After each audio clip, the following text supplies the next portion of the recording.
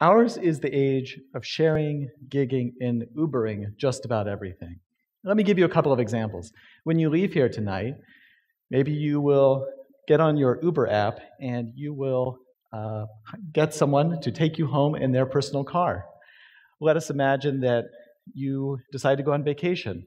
Maybe you'll go on to Airbnb and stay with someone in their own home while they're there. These are things we didn't do that long ago, but it goes further. Let's say you go to IKEA and you buy your child some furniture, and you want to put, and you have facing putting together a crib. You don't have to you learn how to use that Allen wrench anymore. You can go on to TaskRabbit and get somebody else to do it for you. Let's say you're tired of cooking. You can go on to Blue Plate and you can get someone to use a shared kitchen and they will deliver that fresh meal to your door uh, for your family to eat, and you don't have to cook anymore. Now, the interesting thing about all these uses, and a lot of the other uses of the sharing economy, is that they profoundly change the way that we think about the way our economy works and the way we've done business. The other interesting thing is that a lot of them are also illegal. Now, I wrote uh, an article called First Principles for Regulating the Sharing Economy that was recently published uh, in the Harvard Journal on Legislation. And in that, I deal with a lot of the technical issues of this illegality. But I want to focus here today on four principles for why you should embrace the sharing economy and ways that it can affect your life. I'm going to call these the core principles community, uh, ownership, reputation, and equity. So let's start with community. When we think about community, we often think about family, close friends. But in the 70s, a sociologist named Mark Granovetter started thinking about other types of community. And what he was looking at in particular were what he came, he came to call weak ties. These were the people that you barely know. Uh, Jane Jacobs, the urbanist, might have called these, uh, in her lingo, uh, hips, hop skip people, the kind of people that help to bridge boundaries between us. And uh, what he found in his research, and subsequent sociologists have found, is that it's along these weak ties that a lot of information in communities flows. And in fact, the kind of political cohesiveness of our society tends to rest. Well, that's all big thoughts and everything, but I'm going to argue that the sharing economy can be valuable because it provides us these opportunities to make weak ties in communities. Let me give you an example my family, we rented an Airbnb in a single family residential neighborhood in Bend, Oregon. And we go there, and uh, we're at the park with my two year old daughter at the time. And um, we start talking to another guy who's there, who lives there and has a two year old. And we start talking about how hard it is to find a place to go with kids, a place to go out to eat. And he tells us about this little pop up beer garden that has um, come up across town where there's food trucks and everything. And he says, It's a great place to go. You should go there. We go, we have a great time. It was perfect.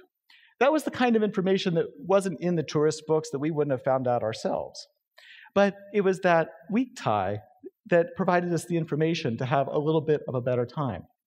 That's the kind of community building that the sharing economy can really facilitate. But there's another issue of community that we really need to think about. Let's say that uh, instead of just us being there at the playground, there were 15 people that were vacationing in that single family residential neighborhood. Okay? And we were all there with our two year old daughters, and he comes with his two year old daughter. Well, now suddenly it's not the same type of experience that he was expecting when he went to the playground, right? So, one of the issues as we think about these types of uses that allow us to engage in the, the, the, communities that we visit is that we have to think about the effects on the communities that we are visiting. So, while the sharing economy can provide us great new opportunities through things like weak ties to uh, find new ways into the community, we also need to think about the types of effects that we have on established communities and make sure that we're protecting them as well. Okay, so that's community. Now, let's talk about ownership. Americans, we love to own things, right? Well, let me give you a couple of examples about the way about how the sharing economy can change our emphasis on ownership to an emphasis on access to owning collective goods. Okay, so let's say that you're working in your wood shop and you're trying to make a piece of furniture, and you find out that halfway through you need some sort of specialty sander. Well, one thing you could do is you can go down to Home Depot and buy that thing that costs 100 or $200, right?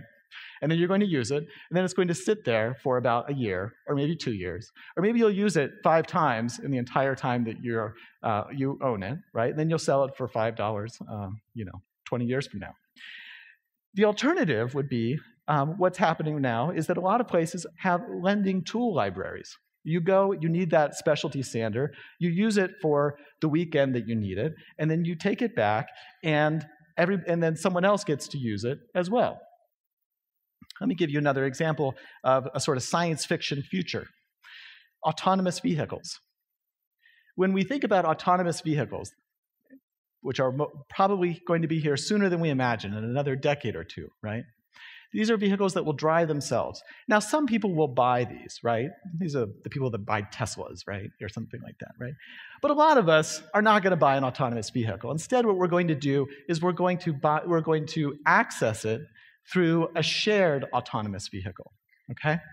And so what we want to do is think about creating an access point to, to, to collective ownership of that, um, that autonomous vehicle. This is precisely what General Motors and Lyft are teaming up to do right now. You may have heard about this, but GM just purchased a $500 million stake in the ride sharing app Lyft. And what they are trying to do is do precisely this create um, an access point for you and for all of us to these new autonomous vehicles. All right.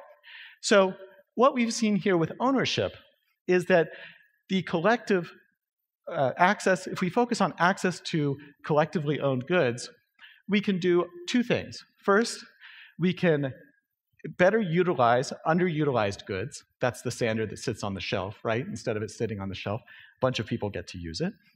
And the other thing is we can plan for infrastructure better. We can better use our infrastructure dollars. So if we collectively own, own, that car and it comes only when we need it, maybe we don't need a five lane highway. Maybe we only need a three lane highway. And maybe we don't all need driveways anyway, right? We can just, the car will just pull up right in front of our, of our uh, house when we need it. Now, that may, that may all sound like science fiction future, but it will be here before we know it. And if we focus on this type of thing, we can su substantially increase the way uh, we plan for infrastructure in the future. All right, reputation. When we think about reputation, we know that it's an important part of business, right? But the reputation in the sharing economy is all. It is everything. And for both the workers and the consumers, it's important that we as individuals be able to own our reputations, and moreover, that we can take it with us. So, what does that mean? If you decide to use a sharing economy use, like say you decide to uh, hire a driver to take you from point A to point B on Uber, okay? You're going to rate that person, right? You're going to give them five stars. Right? Great job. They got me there on time, right? And they're maybe going to rate you. Maybe they'll give you four stars because you weren't such a great conversationalist or something, right? Well, maybe in that one rating, there's some variation. But if that driver takes, you know, a, a hundred different rides or a thousand rides over the course of, the, the year, of, of a year or so, they start to earn a reputation. If they're a great driver, five stars. You're going to want to take that ride with that person. Same with you as a passenger, right? Reputation matters. But here's the interesting thing if that Uber driver uh, decides that they want to go to, say, some startup, can they take their reputation with them? Let's say it's a company that does the exact same thing. It's uh, uh, some other startup that's just a it's Boise, a Boise Uber equivalent. They want to go local, right? Well, they can't take that reputation with them. They can't take those 1,000 five star ratings. I think that's a problem. I think that you should be able to own your reputation. Moreover, let's talk about across platforms. You want to hire that person to uh, come and assemble your, your baby's crib. Well, maybe you would also want to know about their ratings as a driver on Uber or uh, hosting people on Airbnb. It may not be definitive with how they are with an Allen wrench, and you may decide to hire that person anyway. But wouldn't you want to know if they had bad ratings or people thought they had bad uh, uh, driving skills or something? You know, I mean, these are the kinds of things that we would want to know. And that reputation should be portable, and it, someone should be able to own it individually. All right. Finally, equity.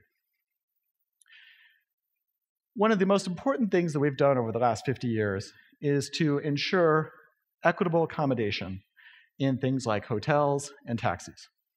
People that are disabled, minorities in our population, have historically struggled to, with these types of public accommodations and public utilities.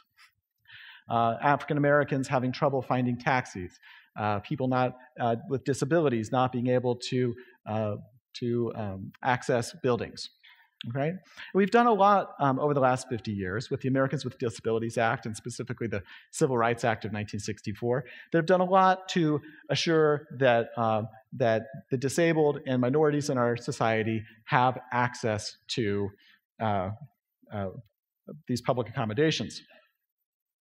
But there is a lawsuit in California right now where uh, a number of blind individuals have alleged that they've had a really hard time getting rides with ride sharing companies like Uber and Lyft because drivers do not want to have their dogs, their, their, uh, uh, their dogs, in the cars with them.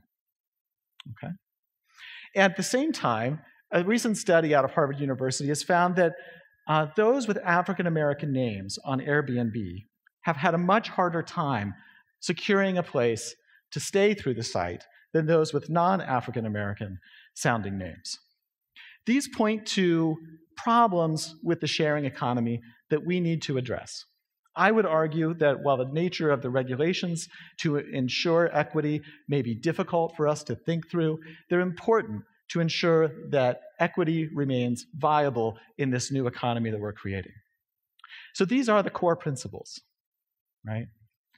These are the core principles. And if we follow through with these and we, and we make the core principles part of our uh, of the way that we think through the sharing economy, we can make sure that we have not only new opportunities for the sharing economy, right, a new way of doing business, but one that is equitable and can actually revolutionize our lives.